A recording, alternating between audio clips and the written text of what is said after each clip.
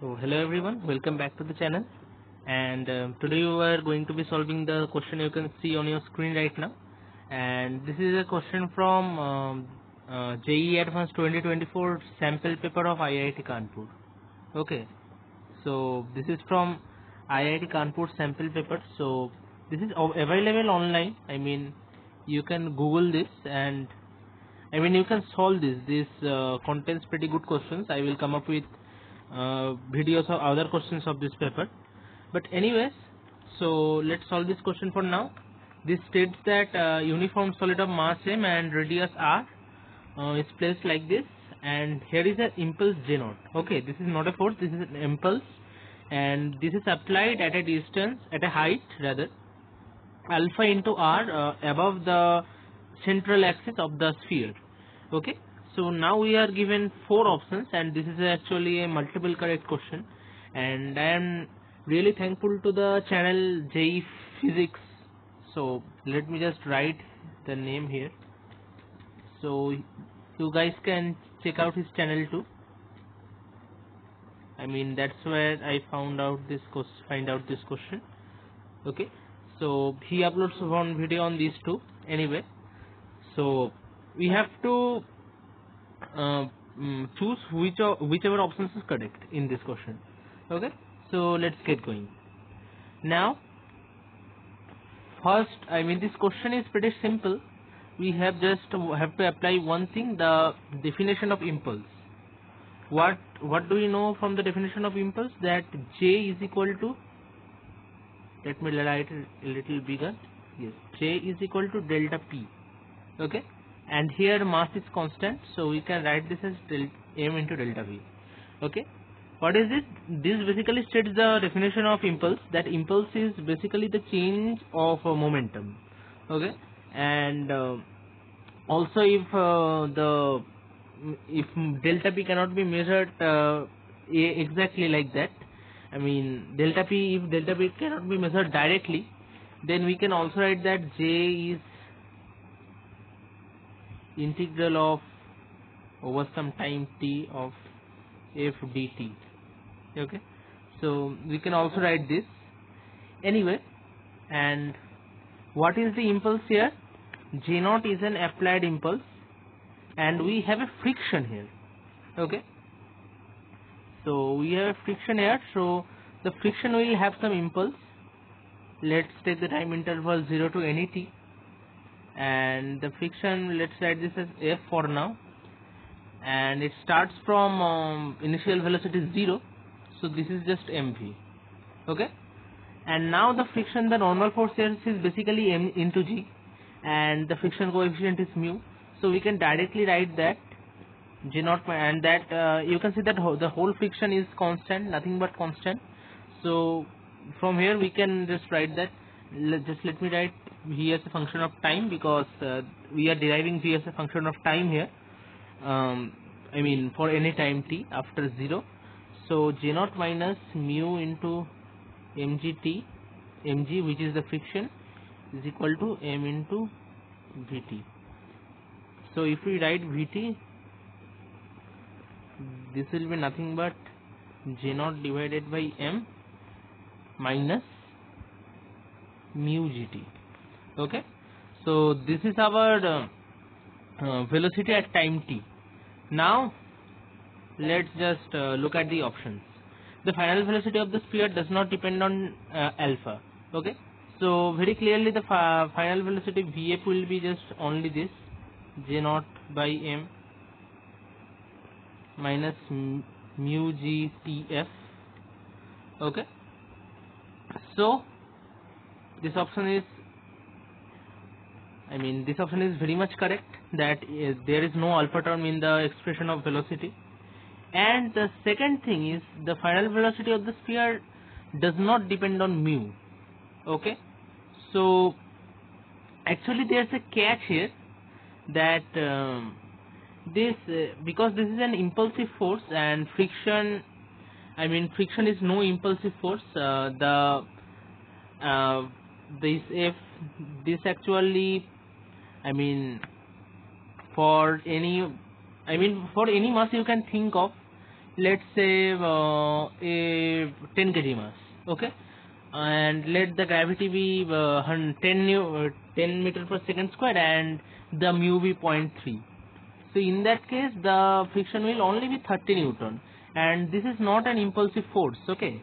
So that's the concept i mean idea behind the option 2 this is not an impulsive force at all because impulsive force has to have a higher value.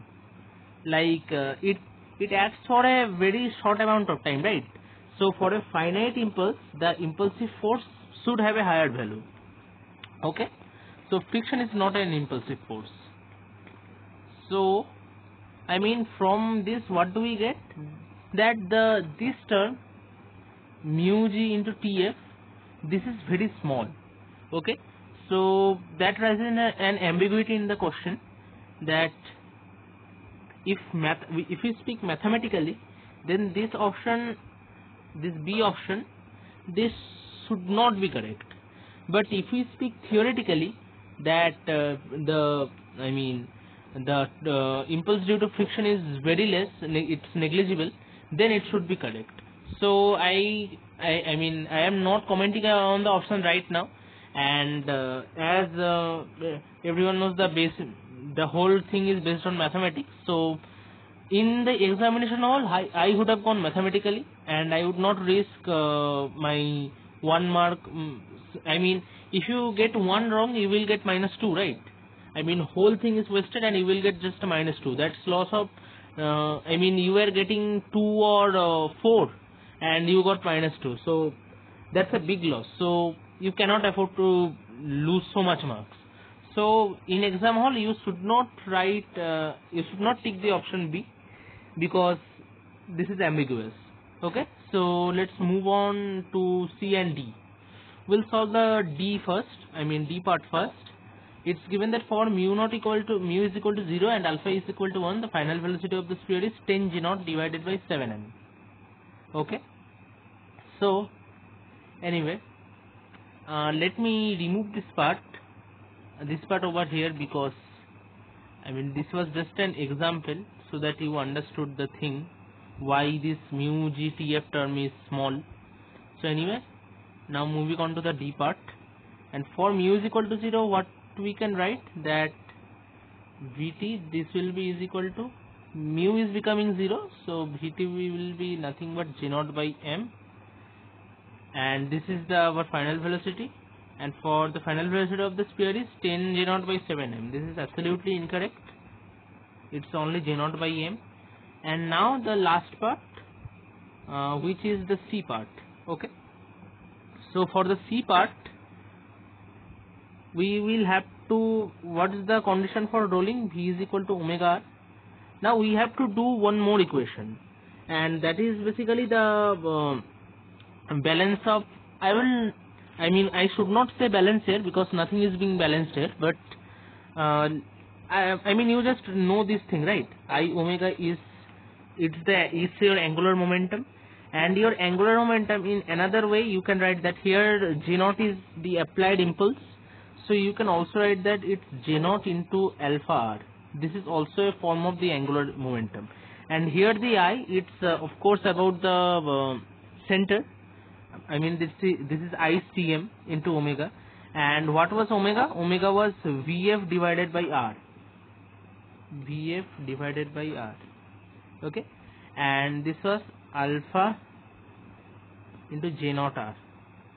And now what was I and uh, I for a solid sphere you know right that for a solid sphere I is 2 by 5 mr square and now what was VF? VF was your nothing but J naught by M and J naught by M R because there is an R in the denominator. And this is alpha into J naught R. And all of the things get cancelled. And from this we get that alpha is actually equal to 2.2 divided by 5 when the sphere begins to roll without slipping. Okay? So the option C is indeed correct so I mean uh, I cannot comment like that for the final answer. Uh, in examination hall if this appeared on my JEE advanced I would mark A and C. But this is a question. Should B be correct here? Mathematically speaking B is not correct at all. But theoretically speaking B could be correct. But the, we cannot um, discover I mean you would get 2 marks right? If let's suppose just B was correct and um, you will get to still 2 marks right for partial marking. So you are if and if B weren't right you will lose 4 and minus minus negative 2 that is 6 marks. That's the straight 6 marks loss. So no need to risk 6 marks for 2 marks and you just mark uh, A and C in these types of uh, pro, I mean ambiguous questions. Okay so that brings us to the end of this video. And um, I hope you learned the the thing. And actually as this is from a sample paper of an IIT these the questions like this would be really important for this year's advanced. And also uh, I mean I, I am updating it once again that you can join the telegram group. Uh, I mean the link is given in the description. If you uh, have any questions for me or if you want to stay connected with me then you can join the telegram group it's basically a JEE mentorship group but we we may keep connect, our connection there okay? So anyway that brings us to the end of this video. Uh, I again hope you learned the concept and just stay tuned. There will be more videos like this in the last week before advanced 2024 and thank you for watching. We'll see you in the next video